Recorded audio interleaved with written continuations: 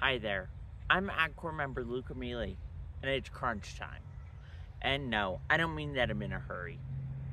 It's that time again where every year during National Farm to School Month, we celebrate locally grown and raised foods, enjoy a healthy and tasty snack, and have fun in a little playful competition with some of the other states. This year, we'll be competing in the Mountain Plains region.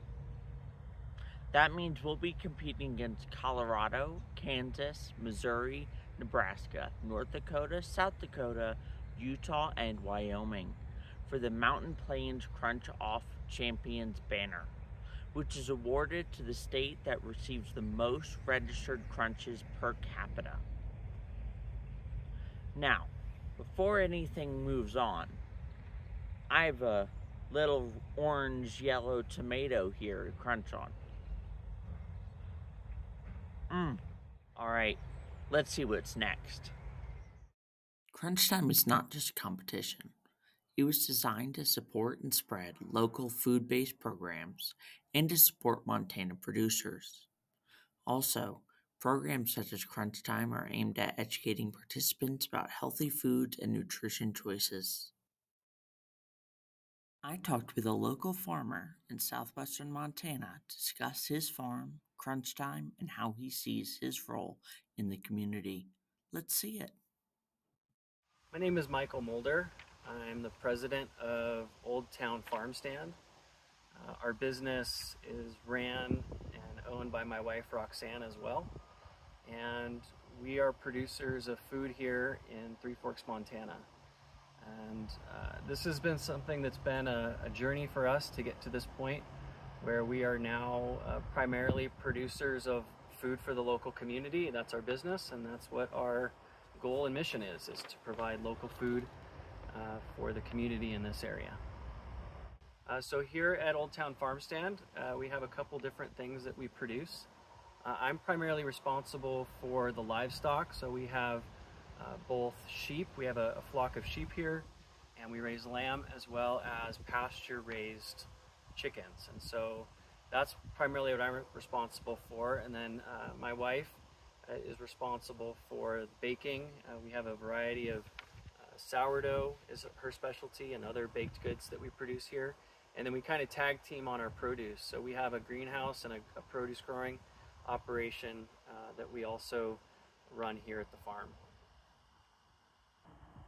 Yeah, so our produce is very seasonal, and being in Montana, we have a challenging growing season. And so, uh, to support that, we have a greenhouse where we grow tomatoes, uh, cucumbers, and carrots, uh, squash, peas, uh, green beans. And then we also have some cold season vegetables that we grow broccoli, and kale, and lettuce, um, and other greens. So, uh, on a yearly basis, you know, our year starts in the winter with planning, and that's where we put together our plans for the coming season. Uh, Montana being, you know, a challenging place to grow with a short growing season, it, it, you have to be prepared, and you want to make sure that you know what your plans are. And so we spend that time in the winter preparing. In the spring, uh, we start all of our vegetables and plants uh, in greenhouses or indoors uh, to make sure that once the weather is ready in the summer, uh, we're ready to go full speed ahead. Um, and so in uh, June is typically when we're planting outdoors and we have uh, you know outdoor growing until the fall and we'll transition into our greenhouse primarily through the fall. And then once it gets cold enough in the winter, uh, you know, we're back to that uh, end of the year cycle and starting that back over. Uh, so the, the best part of my job has been connecting with our local community and, and seeing um, how customers really appreciate our business. Our business is fairly new, and it's been something where you can tell that there's uh, very much a, a, hunger for people to have local food options. And so it's been really neat to be able to go to farmers markets and just talk to people and see how happy they are to have uh, local food options available to them. So one of the one of the cool things about growing food is being able to show people where their food comes from. I think when you look at Montana, for example, um, over 97% of the food that we eat here is brought in from another state or out of the country. And so a lot of people are disconnected from where their food is grown and how it's grown. And so I think um, it's been really exciting to show people, you know, how chickens grow, how uh, food is produced, and to be able to educate them on that. So probably my favorite thing are cucumbers. Uh, a fresh cucumber right off the plant is probably one of the best things. And um, my daughter, when she was really little, actually ate them like apples. So she would go out and run out to our, uh, you know, to our cucumber vines and pick one off and just start eating it just like you would an apple. Um, and she still does that to that day. And I think that, you know, that's that's the kind of uh, enthusiasm that I hope you know everybody has when they're eating, you know, fresh produce. It should be delicious, it should be fresh, and it should be tasty. Yeah, I think um, it's so fun to be able to watch a plant grow. From preparing the, the earth to planting the seed to watching that plant grow and then being able to produce fruit or vegetables or whatever.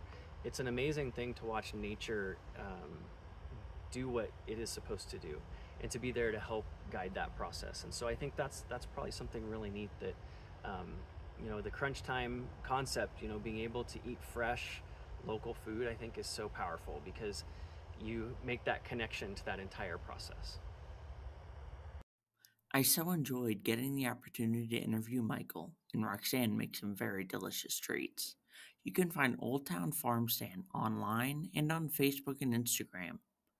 Also, visit them at this address as well to try their amazing products. Thank you for watching and learning about crunch time and the operation at Old Town Farm Stand. Now, I hope you get out there for Farm to School Month and crunch away on some local foods. I sure know I will. Happy crunching!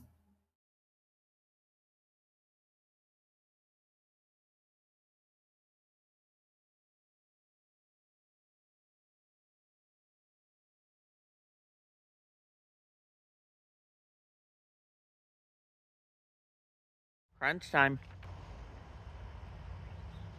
Mmm, sounds delicious.